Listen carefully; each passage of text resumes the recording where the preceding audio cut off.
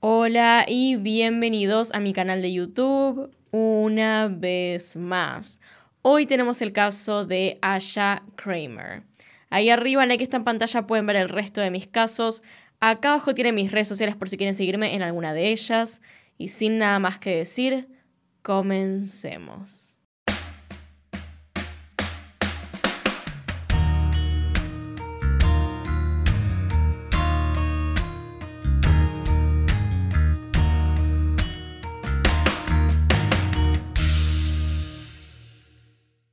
Asha Kramer nació el 2 de mayo de 1989 en Hawái, Estados Unidos, en la ciudad de Hilo. Era hija de Russell y Jeannie Kramer. En 1991, siendo apenas una niña, su familia se trasladó a Redcliffe, Australia, donde Asha pasó la mayor parte de su vida junto a su hermana Jancy. Durante su infancia, Aya fue una chica muy activa, le gustaban mucho los deportes como el atletismo y el fútbol. Participó en varias competencias juveniles e infantiles durante esta etapa. También era descrita como una estudiante muy inteligente y querida. Su madre, Ginny, decidió entonces aceptar un trabajo como enfermera en una zona rural del país, cerca de la comunidad indígena llamada Pipala Yara. Aya y su hermana asistieron a Ross Park Primary, una escuela cercana a Alice Spring, una ciudad que la propia madre de las chicas describió como una ciudad chica e insegura en donde había una diversidad de culturas, existiendo incluso cierta disparidad entre los grupos. Ginny agregó que su hija mayor estaba asustada de tener que vivir cerca de Alice Spring. Al llegar a la adolescencia comenzó a asistir a la escuela secundaria St. Phillips, de donde se graduó sin mayores problemas. Nuevamente, ahí se destacó como una gran alumna. Era muy querida por todos sus compañeros y también participaba en varias actividades extraescolares, sobre todo las que tenían que ver con deportes. Un miedo que surgió cuando era una adolescente. Fue cuando Aya tenía entre 12 y 13 años. Volvía sola a su casa todos los días de la escuela. Uno de esos días Aya perdió el bus o colectivo que debía tomar para volver a casa y decidió irse caminando. En el trayecto hasta su casa, un oficial de policía la detuvo para preguntarle sobre una violenta violación que había pasado en la zona. Este episodio asustó muchísimo a la chica y llegó a afectarle tanto que le costaba salir de su casa para ir hasta la escuela, por lo que su madre decidió dejar de enviarla a Ross Park Primary y en su lugar mandarla a un internado. Su familia y amigos describieron a Aya como una chica muy inteligente, simpática y muy fácil de querer. Siendo ya estudiante en la universidad, Aya participaba en varias actividades extracurriculares como por ejemplo jugar al fútbol en el equipo de la universidad. Una de sus amigas la describió como una chica popular y amable, como un alma vieja. Siempre conocía y sabía sobre cosas cool antes que nadie.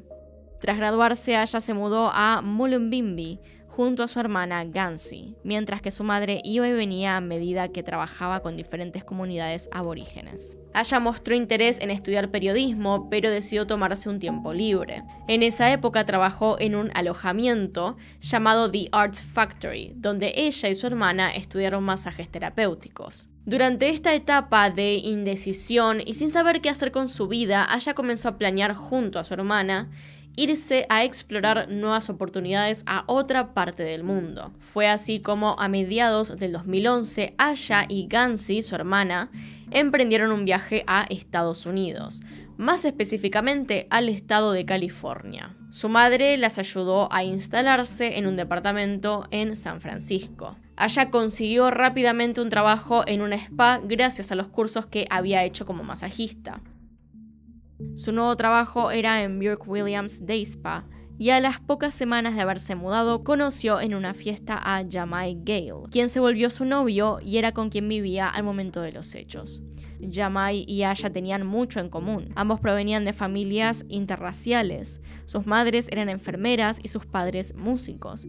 Incluso Aya había conocido a los hermanos de Jamai años antes en Australia. La química entre ellos fue inmediata comenzaron a pasar mucho tiempo juntos y la relación se fue volviendo cada vez más seria. Él presentó a Aya con toda su familia y poco después se mudaron juntos a Mission District en San Francisco. Estas son las propias palabras de Hamai al recordar su relación con Aya. Nos encontramos en mi cumpleaños en una fiesta. Aya y su hermana aparecieron allí. Teníamos mucho en común. Ambos éramos de ascendencia mixta. Nuestras madres ambas eran enfermeras, nuestros padres eran músicos. Además, ella conocía a mis hermanos que habían viajado por Australia. La relación entre Aya y Hamai avanzó rápidamente. Al cabo de un par de meses ya estaban conviviendo y planeando un futuro juntos. En el año 2013 la crisis económica hizo que se les hiciera muy difícil a ambos seguir alquilando en una ciudad como San Francisco, así que comenzaron a explorar otras posibilidades. Es de esta forma como llegan a la localidad de Mendocino, una pequeña ciudad en la costa del Océano Pacífico, y también un lugar designado por el censo al condado de California. Este es un término que ya hemos visto en otros casos, suele utilizarse para designar zonas de bajos recursos que no tienen legislación de municipio. Allí, Aya consiguió dos trabajos, uno en una posada en Schoolhouse Creek y otro de ellos en una especie de veterinaria. Ginny declaró estar preocupada por su hija durante aquella nueva mudanza. Según ella, Aya había comenzado a consumir marihuana de forma recreativa, y esto le parecía un riesgo, ya que ambas partes de la familia de Aya tenían predisposición a las enfermedades mentales, y como ya sabemos, la marihuana puede ser un desencadenante de las mismas. O, para que se entienda mejor, el consumo de cannabis está relacionado con una mayor probabilidad de una aparición más temprana de trastornos psicóticos, como la esquizofrenia, en las personas con factores de riesgo como los antecedentes familiares Teniendo historial con problemas del estilo, Ginny no quería que siquiera se arriesgara, por más que quizá nunca se fuese a desencadenar nada. Sin embargo, cada vez que trataba a hablar con su hija, a ella le restaba importancia al asunto. Es entonces que pasamos al año 2015, semanas antes de la desaparición. Según los testimonios de Jamai, su novio, Aya comenzó a actuar un tanto extraño los primeros días de septiembre. Él destaca un viaje que Aya hizo esos días a Los Ángeles. Según Jamai, Aya comenzó a actuar extraño luego de ese viaje. Jamai contó en una entrevista que la recogió luego de que volviera del viaje y ella expresó su deseo de hacer cambios en su vida, como obtener una licencia de conducir y mejorar sus relaciones con las personas. Jamai describió a Aya casi en silencio durante la mayor parte del viaje de regreso a casa y parecía aliviada cuando por fin llegaron. Su novio notó un cambio rotundo después de regresar de ese viaje a Los Ángeles. Dijo, nunca estuvo tan deprimida como cuando regresó de Los Ángeles. Siempre había altibajos, pero esta vez era diferente. Se volvió muy, muy callada y reservada. Los siguientes días el comportamiento de la mujer siguió empeorando. Pronto se volvió insegura de sí misma, no confiaba en su juicio y estaba la mayor parte del día reflexionando y pensando en que todo estaba mal. Estaba preocupada por su futuro y creía que necesitaba ver al doctor porque pensaba que no podía tener hijos.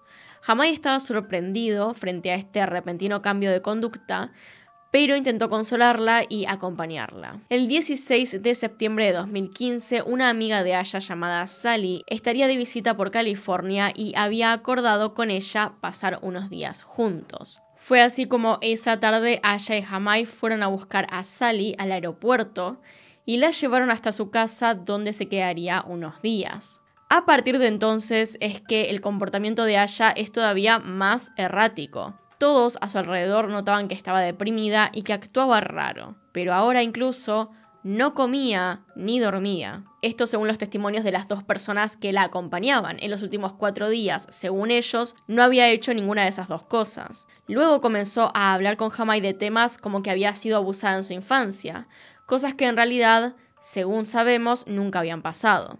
Varios expertos creen que para estos momentos Aya ya estaba alucinando.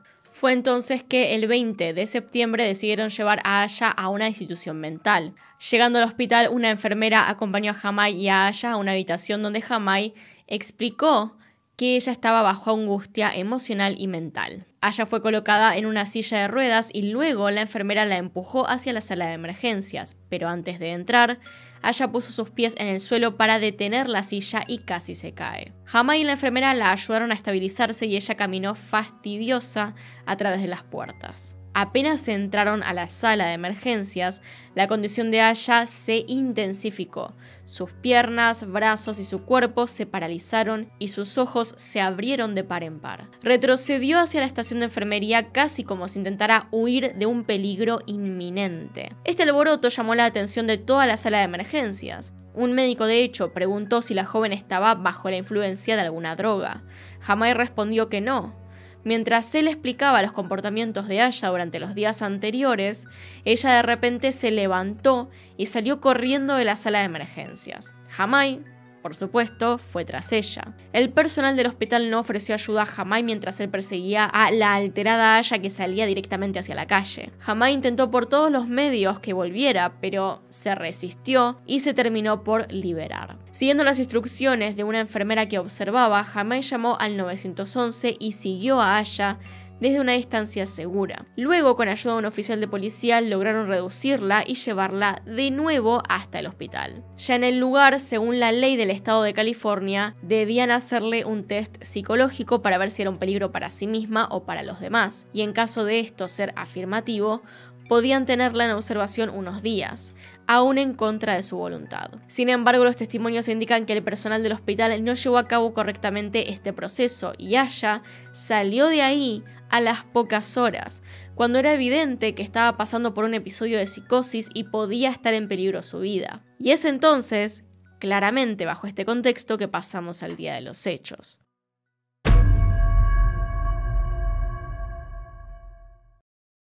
Era el 21 de septiembre de 2015. Apenas un día había pasado del episodio en el hospital. Por la mañana, Jamai y Sally buscaban que Aya se sintiera mejor y estuviera relajada, así que pensaron en llevarla a su restaurante favorito para desayunar. El trío se dirigió a Rollerville Café, un clásico restaurante estadounidense en Flumville, cerca de Point Arena, con la esperanza de que Aya se sintiera mejor y comiera por fin algo. Dentro del restaurante, Aya permaneció en silencio y no tocó su comida. Entre las 10 y media y las 11 de la mañana, Sally fue al baño ubicada en la parte trasera del restaurante.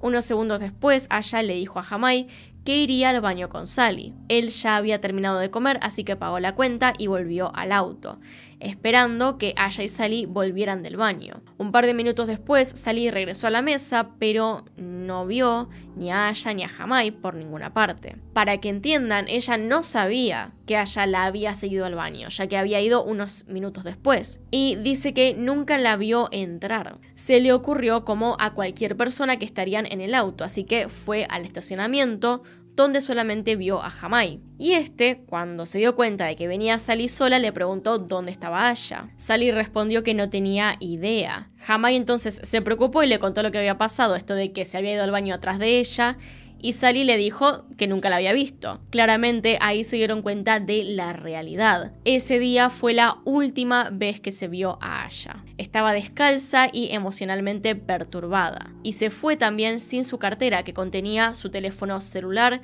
billetera, identificación y tarjetas de crédito.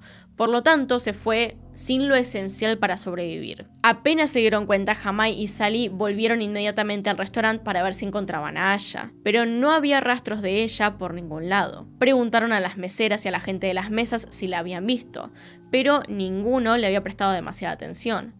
Durante las siguientes tres horas, Jamai y Sally buscaron frenéticamente en las carreteras cercanas, en los campos y bosques, intentando hallar alguna señal de Aya. Realizaron más de una vez el trayecto desde el restaurante hasta su casa en búsqueda de la chica o alguna pista de dónde podía estar, mientras inmediatamente Jamai llamaba al 911 para reportar su desaparición. Y dado los últimos días de Aya, la oficina del condado de Mendocino envió patrullas en su búsqueda ese mismo día. Sally había vuelto a la casa de la pareja esperando con su amiga allí, pero tampoco estaba. Yamai decidió rastrear el iPhone de Aya con la aplicación Find My iPhone, gracias a la cual pudieron determinar que el celular se encontraba cerca de la casa, pero no dónde estaba realmente. Recién dos días después, mientras él recorría la zona, dio con el teléfono tirado entre el pasto. Durante los siguientes días, Yamai imprimió e hizo circular diferentes panfletos con la foto e información de Aya, mientras la madre de su novia volaba desde Australia para ayudarles en la búsqueda. Jamai regresó al estacionamiento cerca del faro de Point Arena y caminó por los acantilados gritando el nombre de Aya. Notó en un momento a un alguacil del condado de Mendocino buscando en la zona a Aya. Durante aproximadamente dos horas, Jamai viajó entre el Rollerville Café y Point Arena buscando alguna señal de esta chica sin éxito alguno. El vecino de la pareja, Loral Eddie Pratt Ryan, contó a Jamai que había visto a Aya el día de su desaparición, mucho después de que los tres se hubieran dirigido al restaurante. Según lo que contaba Eddie, Aya había intentado meterse a un tráiler que tenía en su patio, como si quisiera esconderse de algo o alguien. Cuando le prohibió esto, Aya le contó cosas como que Jamai golpeaba a su perro, un pastor alemán, o que ella había asesinado a la novia de Eddie. Para él era claro que Aya no estaba en sus cabales, por lo cual le dio un abrigo y la alentó a que volviera a su casa. Sin embargo, Aya tiró la campera y se dirigió directamente a la ruta. Extrañamente, tres años después, el propio Eddie terminaría siendo reportado como desaparecido en el año 2018. Los siguientes tres días se enfocaron en buscarla. Se formaron grupos de búsqueda con efectivos de la policía y se recorrieron todos los lugares de alrededor de donde Aya había sido vista por última vez. Desafortunadamente, estas búsquedas no dieron ningún resultado. Con el correr de los días, las esperanzas de encontrarla disminuían drásticamente.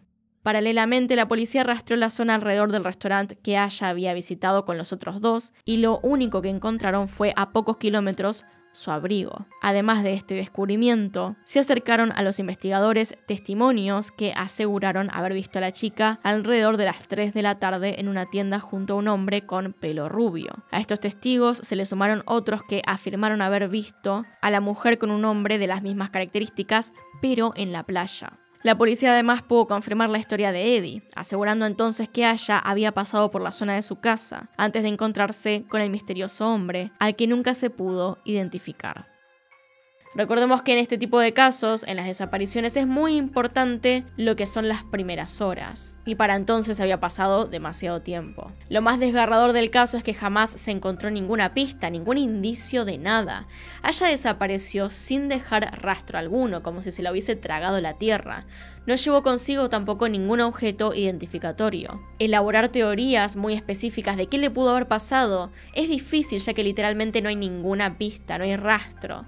Realmente cualquier cosa le pudo haber ocurrido, sobre todo en el estado mental en el que se encontraba, desde un accidente hasta haber sido víctima de algún crimen. Quizá en su estado de vulnerabilidad haya se cruzó con alguna persona con malas intenciones que se aprovechó de cómo estaba. O quizá el estado de paranoia en el que se encontraba la llevó a alejarse de la ciudad y adentrarse en algún bosque y sufrir un accidente. También está la posibilidad de que su estado mental haya empeorado y que haya olvidado dónde vivía y se haya quedado vagando por las calles. Desde el 2015, Yamai y Ginny Kramer han recibido incontables números de llamadas que aseguran haber visto a Aya, pero estas resultaron ser falsas. Lo increíble es que nadie del restaurante siquiera vio en qué momento se fue. Su estado era claramente tan preocupante que debería haberse quedado en el hospital, debería haber sido atendida. Y no fue así. De esta forma, a día de hoy han pasado más de 8 años de la desaparición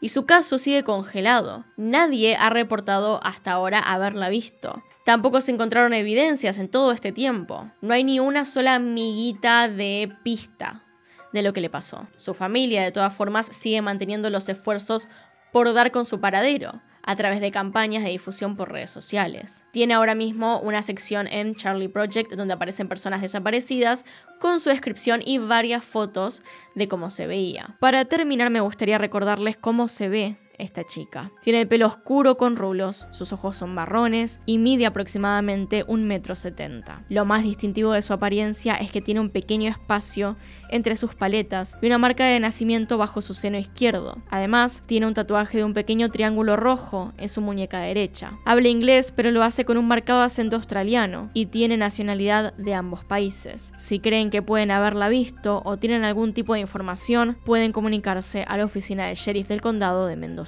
Y así lamentablemente llegamos a otro de estos casos de desaparición sin resolver. Estas son las fotos de Asha Kramer, siguen buscándola. Y esa es toda la información que tengo por el día de hoy. Así que díganme qué piensan y también espero que en algún momento la sección de comentarios se llene de actualizaciones acerca de lo que le ocurrió a Asha Kramer. Tal vez algún día lo sepamos. Así que acá están los Patreons y los miembros del canal. Gracias por apoyarme a través de esos medios. Y sin nada más que decir, acá tienen un video nuevo, acá tienen un video recomendado, se pueden suscribir haciendo clic en mi cara y nos vemos en otro video.